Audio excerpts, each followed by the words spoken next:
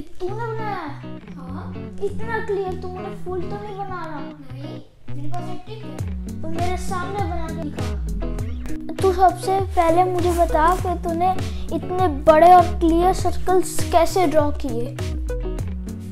पहले मैंने एक, एक प्लेट ली।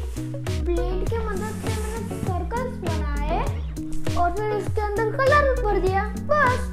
अरे वाह ये तो बहुत अच्छे ट्रिक है। पर तू मुझे पहले बता कि एक ड्राइंग बुक में हमको एक छोटा सा सर्कल बनाना है तो हम लोग प्लेट्स के सिवाय क्या यूज़ करेंगे? Use coins